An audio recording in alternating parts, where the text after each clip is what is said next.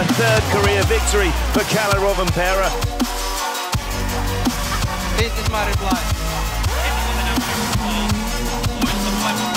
Rovanperä and Halttunen have won.